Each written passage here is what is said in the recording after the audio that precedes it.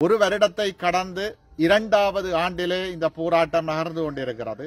இந்த போராட்டம் சர்வதேசத்திற்கும் இனப்படுகொலை இலங்கை அரசிற்கும் சொல்லி நிற்கின்ற செய்தி என்னவென்றால் கையெட்டியிலே சட்டவிரோத விகாரை அகற்றப்பட்டு தமிழ் மக்களுக்கு சொந்தமான காணி அவர்களிடம் வழங்கப்படுகின்ற வரை இந்த போராட்டம் ஓயப்போவது கிடையாது.